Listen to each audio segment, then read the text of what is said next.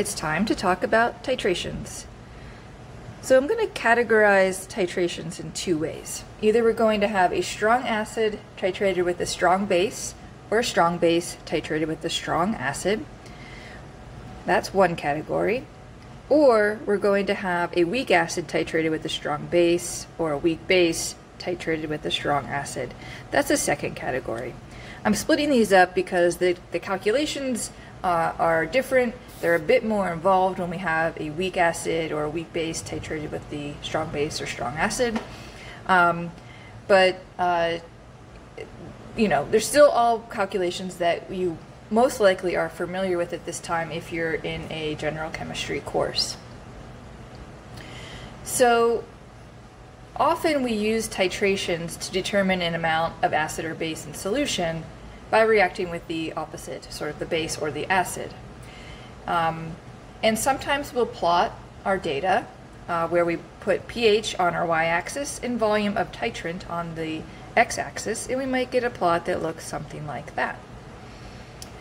Um, and so what kinds of things does that tell us? Number one, it can tell us an equivalence point or an endpoint for a titration, and from which we can determine uh, a number of things, including concentration of titrant. Uh, we can sometimes determine the, the identity of an acid or a base. There are many applications of titration. So in terms of uh, the, the terms that I'm going to use with the with titrations um, include the term titrant. So if we're looking at the titration of a strong acid by a strong base, that terminology, the way I've, I've said that is that the strong base is going to be the titrant. It's going to be what is in a burette. Uh, and then the titrand, term you may see less often, uh, in this case would be the strong acid, and it's what's going to go in an Erlenmeyer flask beneath the, the burette. We are going to add small portions of titrant uh, to the titrand and allow reactions to take place. For the reaction of a strong acid with a strong base, let's say we have our strong acid of hydrochloric acid and our strong base is sodium hydroxide. We know that when these are in solution, they completely dissociate. So we have H plus and Cl minus that's formed from the acid, and sodium and hydroxide formed from the base. So if we think about what's really happening in our flask, we're going to have H plus ions and Cl minus ions. And in our burette, we're going to have sodium ion, Na plus, and OH minus hydroxide ion. When we combine the titrant and the titrand, we have a reaction that takes place. And that is the reaction of the H plus and OH minus to form water. So if we have, are measuring, for instance, the pH in the titrant, so we could put a pH electrode in there or uh, and measure its pH, we would see that as the reaction occurs or as we add volume of titrant, as we add OH minus, the pH doesn't increase very much. It will start to increase slowly and then all of a sudden we're going to see a sharp increase in pH and it's going to flatten out again. This is our typical titration curve for the titration of a strong acid with a strong base.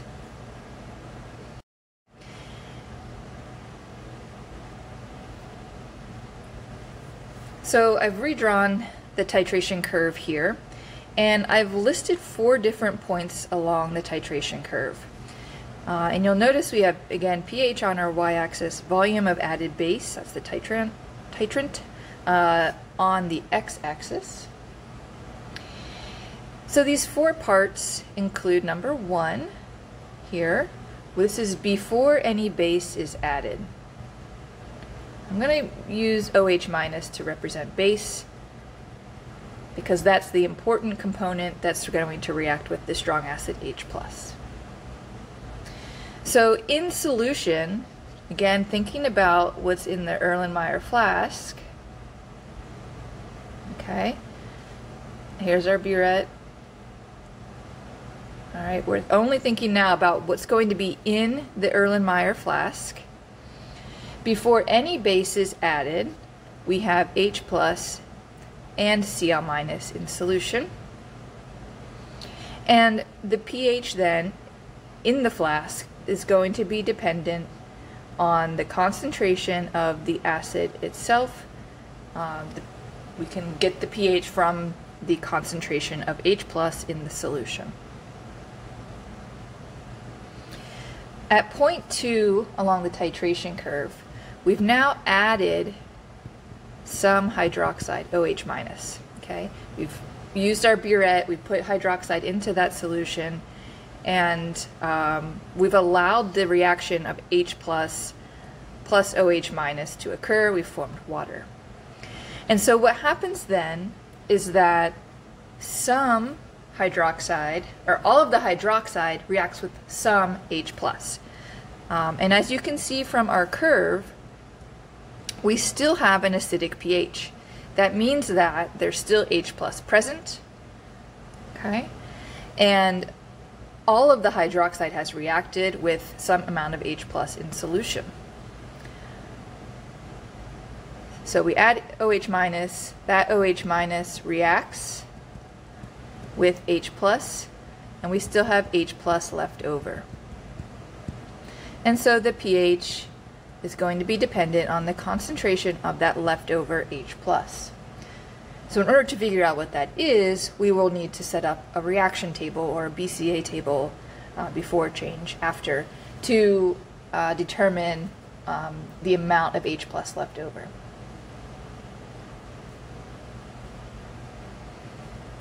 At point 3, this is the equivalence point.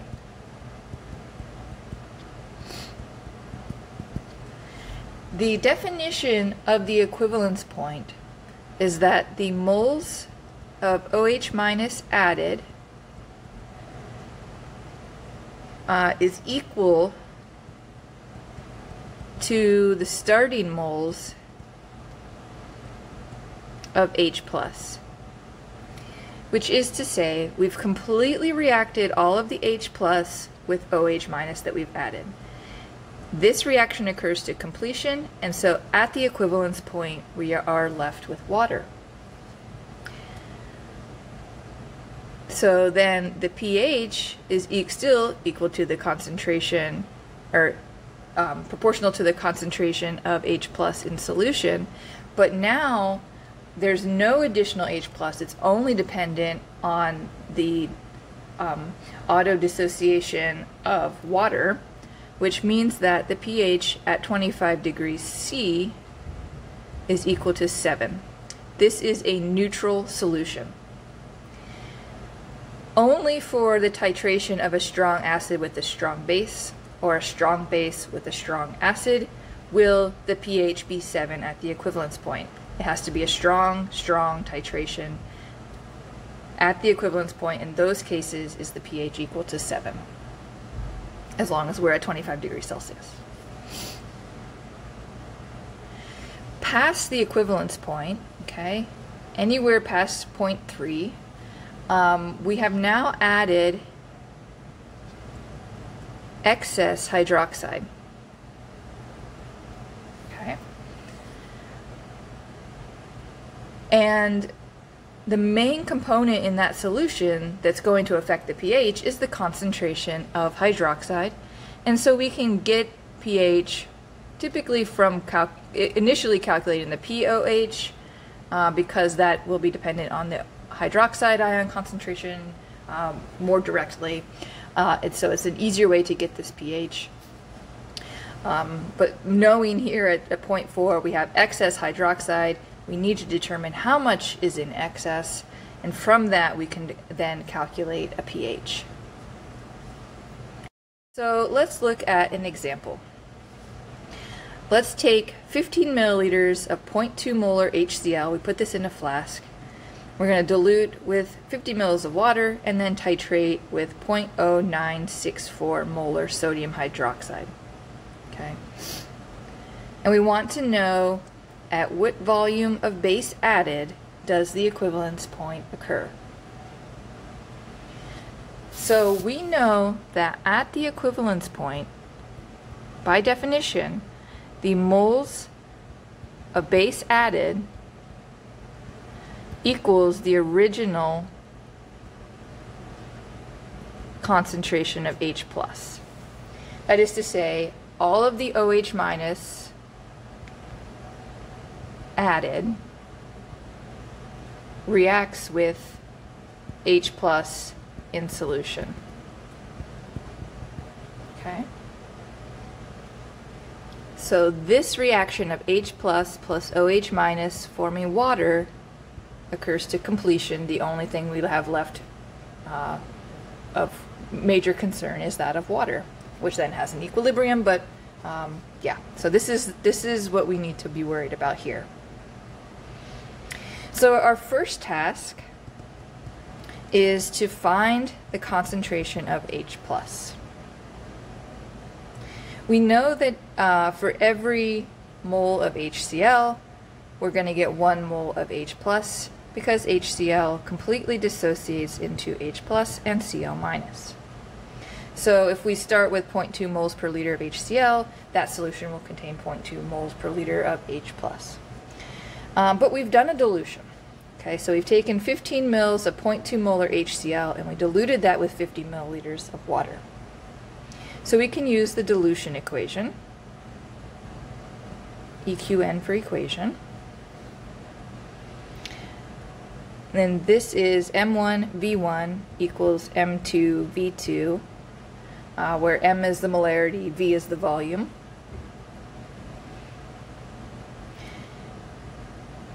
So if we start with 0.2 moles per liter of HCl, and we have 15 milliliters of that, or 0.015 liters, we can determine the concentration upon dilution the total volume that we've diluted to is 15 milliliters plus 50 milliliters, or point, or, or 65 milliliters, 0.065 liters. So solving for M2, we're going to get a concentration of 0.0462 moles per liter.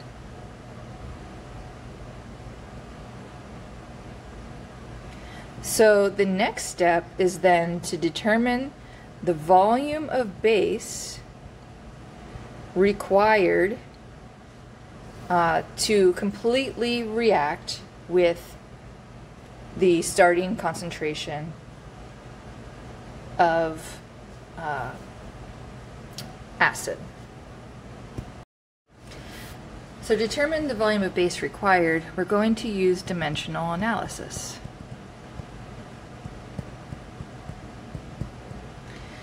We're going to start with what we know, and that is that we have a concentration of acid of 0.0462 moles H plus per liter, and we have 0.065 liters of that solution. We also know, based on this equation, H plus plus OH minus forms H2O, that for every one mole of H plus, we react with 1 mole of OH minus. From here, we can use the concentration of base to calculate the volume that's required because we know that we're adding 0.0964 moles per liter of hydroxide solution. So you'll see that the volume of H plus cancels, moles of H plus cancel, moles of hydroxide cancel, and we're left with liters of hydroxide solution. And multiply and divide all of this out, we'll get 0.0312 liters, which is 31.2 liters of sodium hydroxide solution.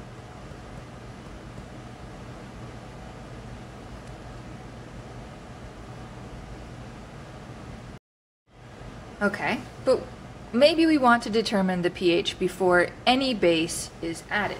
All right, so this is the beginning of the titration curve. The only thing that matters is the concentration of H plus in solution. So we need to know the concentration of H plus uh, that we start with.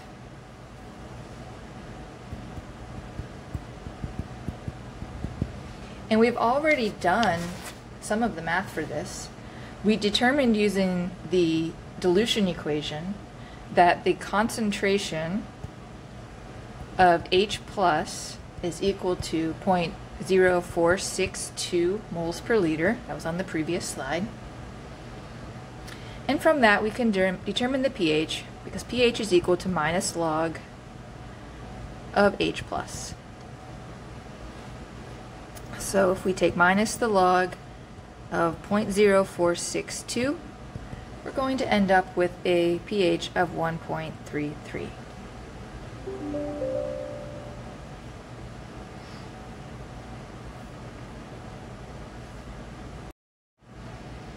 Okay, so what if we want to determine the pH when 15 milliliters of sodium hydroxide has been added? We've already determined that it requires 31.2 milliliters of sodium hydroxide to reach the equivalence point. So this means that we're in the region before the equivalence point in the titration. So in order to determine the concentration that's left over of H plus after the sodium hydroxide that's been added reacts, we need to use a reaction table also referred to often as a BCA table. So in a reaction table, we use moles. The reaction that we're concerned about is that of H plus plus OH minus reacting to form H2O. We need then to know moles of H plus that we're starting with. So that's going to be our before line and we need to know moles of OH minus that have been added from that 15 milliliters. So to find the moles, we're going to multiply the concentration by its volume. Now, in the previous two examples, we, we determined the concentration of HCl uh, in its diluted final volume of, or diluted volume of 65 milliliters. So let's continue with that. Um, you could also find the number of moles of HCl uh, in the 15 milliliters. You're going to get the same value.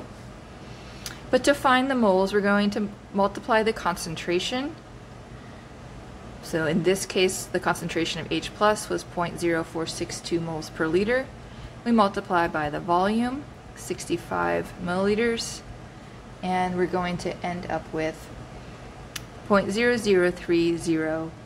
0.003003 moles of H plus to start.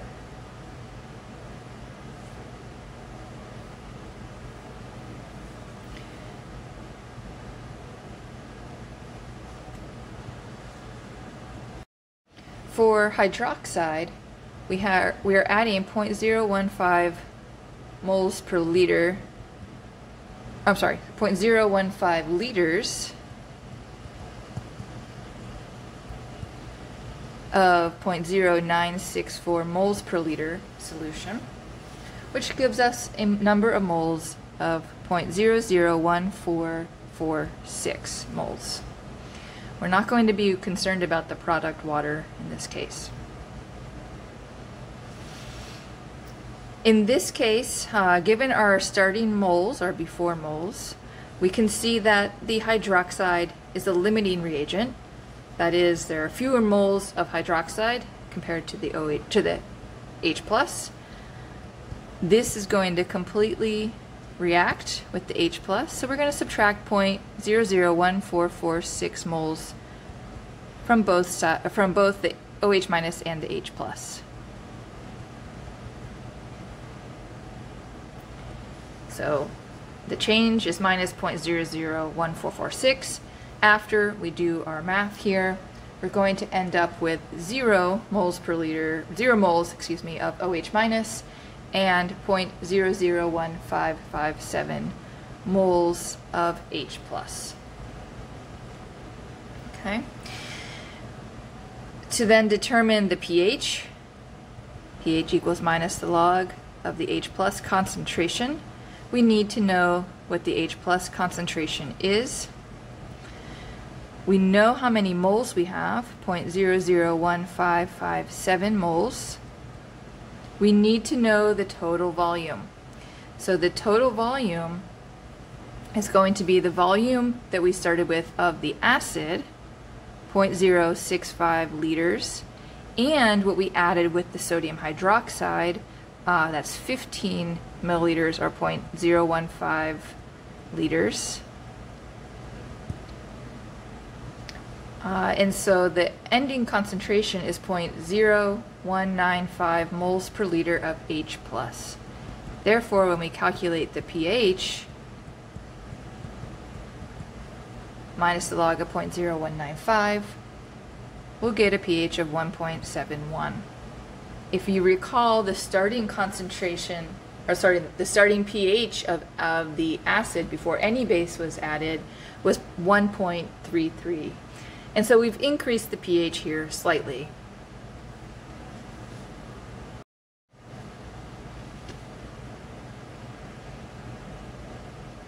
Now, perhaps the most easy question for the titration of a strong acid with a strong base, what is the pH at the equivalence point?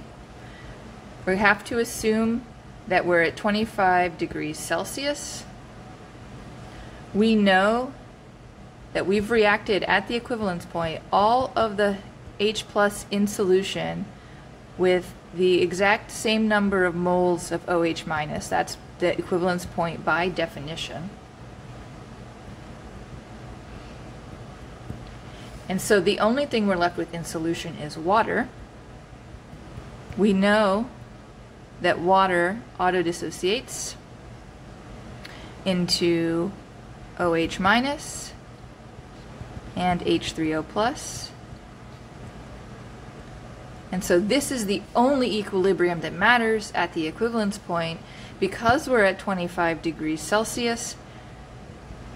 The pH is equal to minus the log of the H3O plus concentration or H plus concentration which is 1 times 10 to the minus 7. That is from our kW, the square root of the kW, uh, 1 times 10 to the minus 14.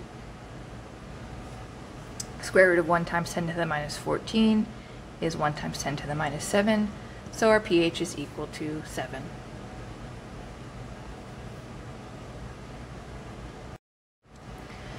Okay, so final region uh, to, uh, to calculate the pH of is that beyond the equivalence point. So if we add 10 milliliters of, of sodium hydroxide past the equivalence point, what is then the pH? We have to know, based on how this question is worded, the volume required to reach, of, of base required to reach the equivalence point. And that was 31.2 milliliters. So if we're at a volume that is, we've added a volume that is 10 milliliters past the equivalence point, that's the same as saying we've added 41.2 milliliters of sodium hydroxide. Again, we're going to set up a BCA table. We're going to use moles. Our starting moles of H plus are the same. Okay, we're assuming that we're starting from like the very beginning of the titration curve. And so the mole, oh, sorry, this is not concentration, this is moles.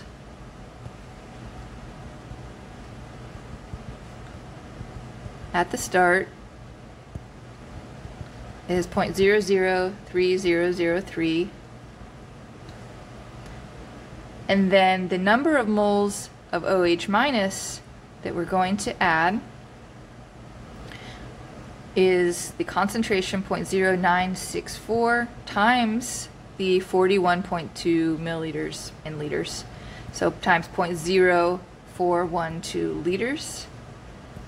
And we'll end up with 0.00397 moles. We're going to go back to our BCA table with the reaction H plus plus OH minus forms H2O. Our starting moles of H plus, 0.003003, our starting moles of base, 0.00397. We're not going to worry about water. And you can see now that the limiting reagent in this reaction is the H+. And that's because there are fewer moles present of H+. Plus. So we're going to subtract that limiting reagent, minus 0.003003, from both the H plus and the OH minus. And after we're going to end up with 0 moles of H plus and 0.000969 moles of OH minus. We can then calculate the hydroxide ion concentration. We'll take the moles over the total volume. 0.000969 moles. The total volume is the 0.065 starting acid plus the 0.0412 um, liters of sodium hydroxide that were added during the titration. And we'll end up with 0.00912 moles per liter for hydroxide. We can then calculate the POH minus the log of the OH minus concentration.